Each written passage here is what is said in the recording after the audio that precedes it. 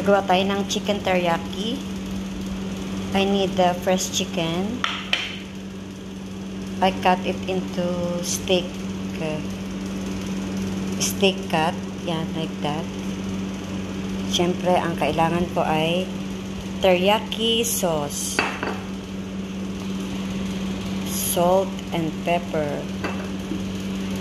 And a bit of soy sauce.